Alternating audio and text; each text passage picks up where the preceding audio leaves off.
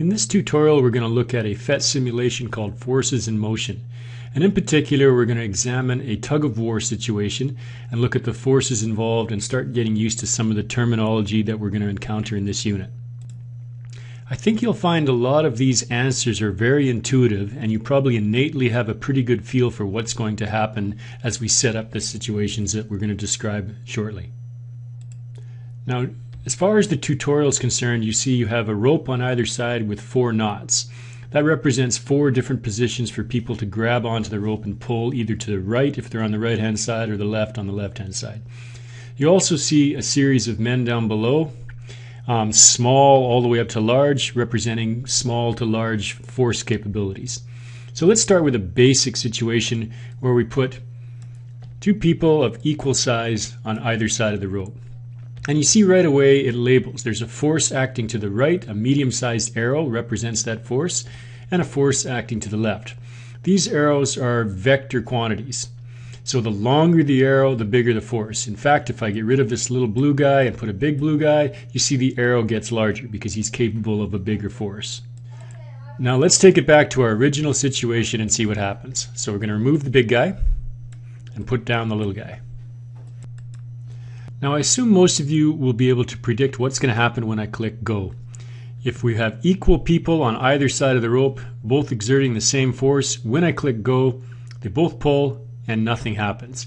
We say in this situation the forces are balanced. The left force is exactly equal to the right force. Now because forces are vectors, I would also say that the right force is positive and the left force is negative. And when I add up those two forces, I get a sum of zero. So the sum of the forces is equal to zero, and in that case, we see that the object does not move. Now let's pause again, and let's add another guy on this side, a little guy. Now right away we see that the right force is now a little bit bigger, and of course now the sum of the forces is to the right, a tiny arrow to the right. We'll figure out how we get that value in a second. Now when I hit go, we see that the right hand side is winning and the cart starts to accelerate towards the right. We can even look at some values if I click on this little box up on the upper right. We see that the right force adds up to 150 newtons and the left force is 100 newtons. Clearly if the right force is 150 then we, we can imagine that this big guy here is exerting 100 newtons of force just like this other guy on the left and the little guy is adding an additional 50. So the sum of the forces is weighted towards the right. So our sum ends up becoming 50 newtons. 150 newtons minus 100. We call this value the net force. So in this case, we have a net force to the right. The object will accelerate to the right. So let's summarize so far. If you have an unbalanced force, meaning the sum of the forces is anything but zero, the object will accelerate in that direction.